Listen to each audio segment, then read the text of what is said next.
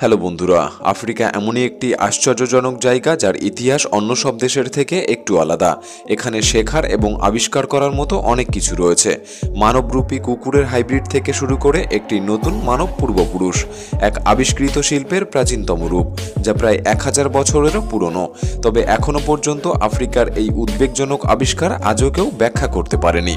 বিজ্ঞান মহল ব্যর্থ হয়েছে। সময় থাকতে ভিডিওটি সম্পূর্ণ দেখার অনুরোধ রইল। আর নতুন বন্ধুরা, অবশ্যই পাশে থাকা লাল সাবস্ক্রাইব লেখাটি প্রেস করে বেল আইকনের অল অপশন সিলেক্ট করুন। ডগ হিউম্যান হাইব্রিড কখনো কখনো ইন্টারনেটে এমন উন্মাদ ভিডিও ভাইরাল হয়ে যায় যা উপেক্ষা করা যায় না। মানুষেরা এমন একটি সংশয়ে পড়ে যায় যে বাস্তব আর পাগলামিকে বিচার করতে পারে না। সেই প্রাণীটি যাই হোক না কেন, তা মানুষ হোক বা কুকুর বা দুটির কোনো মিশ্রণ। এই প্রাণীটিকে একবার দেখুন। এটি যদি মানুষ হয় আর চার হাত পায়ে চলতে শুরু করে, তাহলে বেশ অদ্ভুত লাগবে। এবং এমন পর্যায়ে তারা যদি কুকুরের মুখোমুখি হয়, তাহলে অবশ্যই তারা একে অপরকে দেখে ঘেউ ঘেউ করবে। আফ্রিকার একজন ক্যামেরাম্যান এই পর্যায়ে খুব কাছাকাছি রেকর্ড করতে সক্ষম হয়েছিল এবং আমাদের একটি সুন্দর চিত্র উপহার দিয়েছিল। একটি রহস্যময় অধরা প্রাণী অস্পষ্ট ফুটেজের কারণে মানুষের বোধগম্যতা থেকে বাঁচতে সক্ষম হয়। অন্যদিকে বেশ কাকতালীয়। দেখে মনে হতে পারে এটি মানব আর কুকুরের সংকরায়ন করে এমনটা তৈরি করা হয়েছে। এটি বিগফুট সহ অন্যান্য প্রাণীর দীর্ঘ তালিকায় যুক্ত হতে পারে।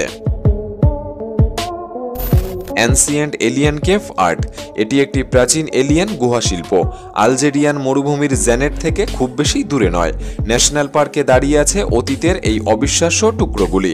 একটি বিখ্যাত সতেজ এবং ক্ষমতাশালী অন্য জগতের ল্যান্ডস্কেপের মধ্যে দিয়ে ভ্রমণ প্রাচীন আর্ট গ্যালারিতে পা রাখার অনুভূতি দিতে পারে। আমরা পনেরো হাজার প্রাগৈতিহাসিক খোদাই করা এবং পেন্টিংয়ের উপর বেলে পাথরের শিলা গঠনগুলিকে কীভাবে ক্যানভাসে রূপান্তরিত করা হয়েছিল তা অধ্যয়ন করেছি। এটি প্রাচীন মানব মনের অস্পষ্ট দৃষ্টিকোণগুলির একটি ভাণ্ডার বলা যেতে পারে।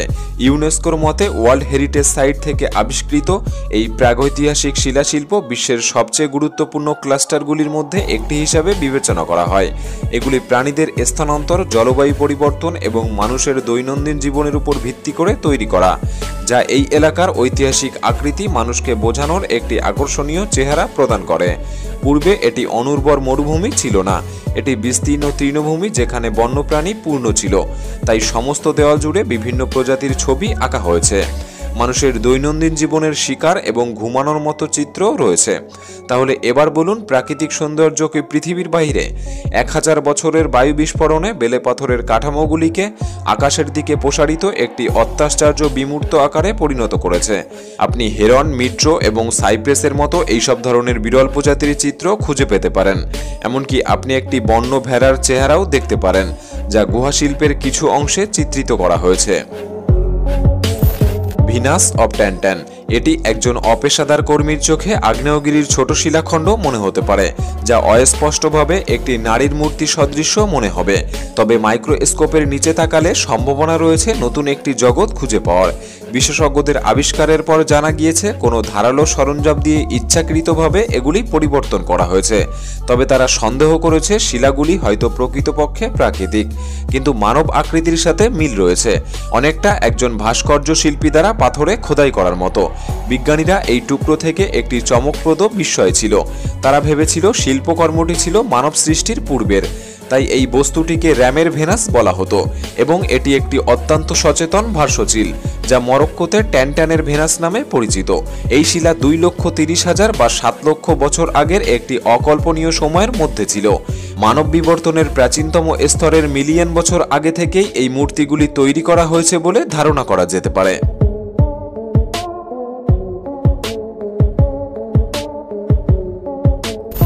Diamond of rush. দক্ষিণ আফ্রিকার একটি গ্রামে ডায়মন্ড রাস নামের অজানা শত শত পাথর সন্ধানকারীদের আকৃষ্ট করেছে। তাদেরকে কেউ সাহায্য করার মতো সেখানে কেউ ছিল না। ইচ্ছা ছিল তাদের নতুন কিছু হীরার খনি আবিষ্কার করার। তাই খনন কার্য শুরু হয়। এই খনি সেখান থেকে বের করে আনতে শ্রমিকদের প্রায় কয়েক মিলিয়ন ডলার ব্যয় করতে হয়েছিল। এত কিছুর পরও ব্যাপারটা গোলমেলে হয়ে গিয়েছিল। আসলে এটি সত্যি একটি খনি ছিল, তবে হীরা নয়। উভয়ের মধ্যে ছিল বিরলতা এবং মূল্যের বেশ পার্থক্য।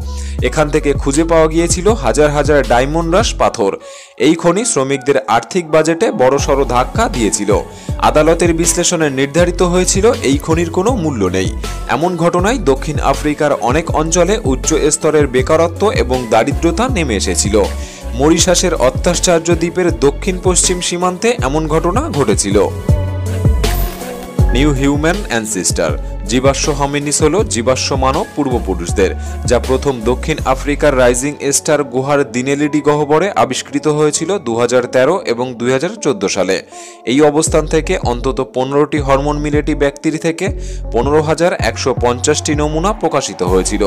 দুজন প্রত্নতাত্ত্বিক দুই হাজার তেরো সালের কাছাকাছি লেসেডি গহ্বরে একটি অতিরিক্ত একশো তেত্রিশটি বাড়ির মালিক ও মহিলার নমুনা আবিষ্কার করেছিল, যা কমপক্ষে আর তিন ব্যক্তির প্রতিনিধিত্ব করে দুইজন প্রাপ্তবয়স্ক এবং একজন কিশোর। বিশেষজ্ঞরা কার্বন ডেটিং ব্যবহার করেছিল এগুলি উদ্ধার করতে। তিন লক্ষ পঁয়ত্রিশ হাজার দুশো তিরিশ এবং দুই লক্ষ ছত্রিশ হাজার বছরের পুরনো এই চোয়াল এবং দাঁত থেকে এই আকর্ষণীয় আবিষ্কারগুলি মানব বিবর্তন সম্পর্কে জ্ঞানের যথেষ্ট ব্যবধান সমাধান করতে সহায়তা করে, কারণ হোমোগণের বিবর্তনীয় অবস্থান এখনও অমীমাংসিত রয়েছে।